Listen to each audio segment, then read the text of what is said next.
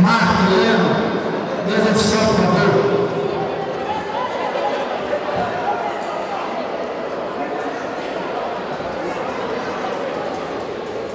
Marco.